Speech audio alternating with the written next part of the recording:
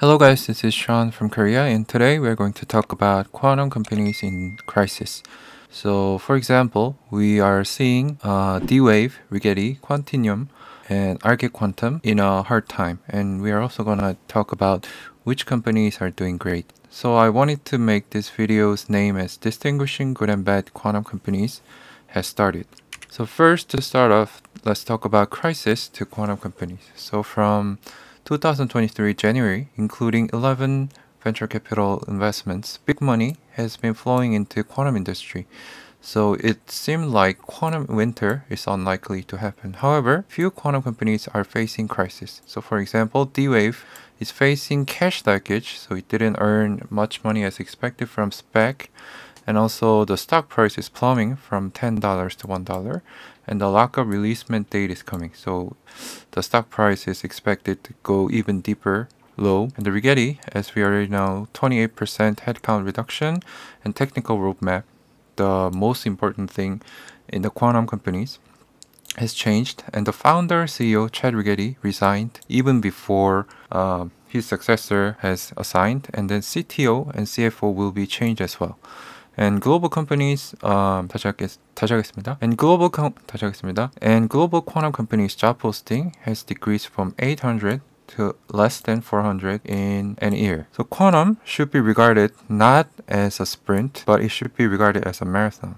So even though it has big potential in the long term, but short-term views are dangerous. So we should uh, invest in as having the long-term view for the quantum uh, industry. And also quantum market will grow 20 to 30% every year as expected, but not every quantum companies will grow at the same time. So from 2023 to 2025, um, the reason why I set the 2025 as end date is because this year is expected to uh, have the error correction commercialized.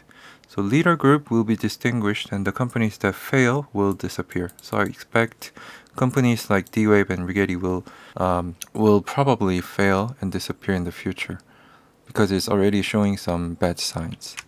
And Quantinuum, uh, which used to be Honeywell, CEO has changed. So on February 14th, Quantinuum has appointed Raj Hazra as CEO, new CEO. The company said Hazra will help continue its mission to accelerate quantum computing as it enters a period of rapid scaling. So it represented as a good thing, but I don't think it's a good thing because the current CEO and founder Ilyas Khan remains as the leadership team, but he is moved from CEO to chief product officer, so his duty has decreased and also as his, his influence. And Raj He's previously spent 25 years at Intel and he's an expert of hybrid multi-cloud infrastructure and getting the new products and partnerships. But even though what I think is that replacing the CEO is pretty uh, extreme. It represents that the existing strategy is not working well and needs to be improved. So I, I think Quantinuum isn't risk as well, just like D-Wave and Rigetti. And also Arqit Quantum stock price drops dramatically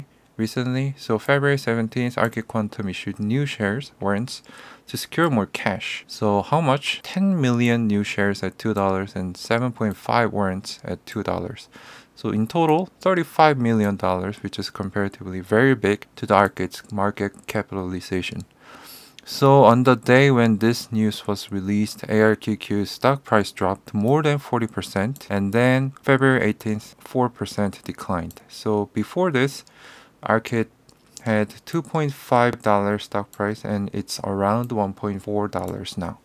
The reason why ARQQ issued new shares is that we could see this from the Q3 earning report. On Q3, ARQQ used 70 million out of 49 million remaining cash, which means it only has cash enough for three uh, quarters. So remaining cash is not enough to continue its business, so that's why it released new shares and warrants. So Arqit intends to use the net proceeds from this offering to enhance international customer service capabilities and to enhance the general corporate purposes and channel uh, partnerships. But what I think is that ARQQ has a big volatility on its stock price. Uh, for example, on November 2022, its stock price uh, went very high, even above $10, but currently it's around $1.4. So more than 87% stock price drop, not just once. I think it's like two or three times in a row. So I think it needs extra caution when investing because it, the stock price has such a big volatility. And on the other hand, Sandbox AQ is doing pretty well. It raised more than $500 million. So on February 16th, Sandbox AQ, a startup spun off from Alphabet last year, announced it raised $500 million.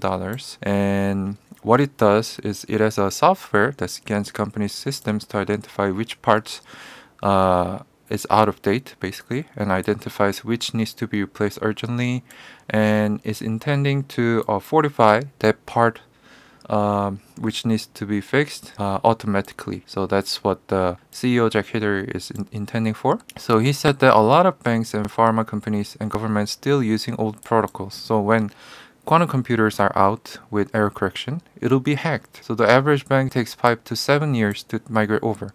But the Sandbox AQ is uh, intending to do this very fast. And Sandbox AQ also has a powerful simulation software to accelerate development of drugs and materials. And it also has quantum sensors. So for example, it created a prototype machine to monitor the heart. And this can also monitors slight local changes in the Earth's magnetic field, so which enables the navigation systems to be much more precise. So as a result, it won a contract with the US Air Force to research these quantum navigational technologies. And uh, you should know that the former Google's chief executive, Eric Schmidt, is in the startup chairman, and he's also investing in Sandbox AQ. And it already has 15 enterprise and government customers and partnering with 30 universities to train uh, PhDs and other talent needed. So it's growing up very rapidly. And even though this uh, company originated from Alphabet in 2016, Google parent is not a shareholder because the Hidary, the CEO, wanted the company to be independent to work with other major cloud companies such as uh, Microsoft and AWS as well. So I really like what it's doing. And from my thought, Google's quantum hardware is not doing great. Its development is basically stalled. So instead, it's focusing on quantum resistant security and automatic uh, upgrading security upgrading solutions and quantum sensors by utilizing its AI and big data capability. So Sandbox AQ, if it's listed, I'm willing to invest in this company so I'm still monitoring how this company is doing. And overall, my thought 2023 is having a high interest rates, hard economic conditions such as uh, inflation. So quantum companies win or fail grouping has started. So D-Wave, Rigetti Quantinuum, Arqit Quantum is having difficult times, whereas Sandbox AQ is getting big money and getting more attention. And also IonQ is doing pretty good because it's utilizing its abundant cash, which is over $555 million, to acquire Entangled Networks, setting up uh, new manufacturing facilities around Seattle, and is establishing global positions, already established one in Europe, Canada, and possibly in the near future.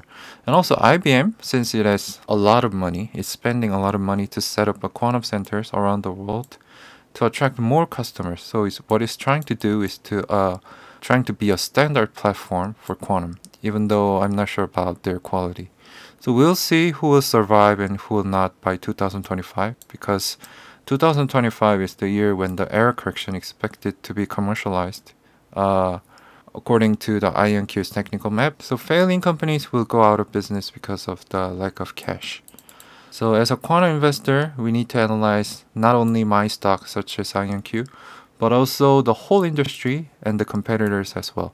So let's remember that quantum is a marathon, not a sprint. Alright, so we talked about quantum companies in crisis, D-Wave, Rigetti, Quantinuum, Arqit Quantum, and those companies who are doing great.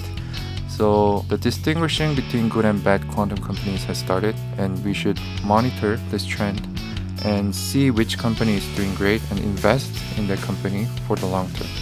Alright, thank you for listening to my video. Please subscribe to my channel, leave a like, leave a comment, and I'll talk to you guys uh, on the next week's weekly update video. Thank you.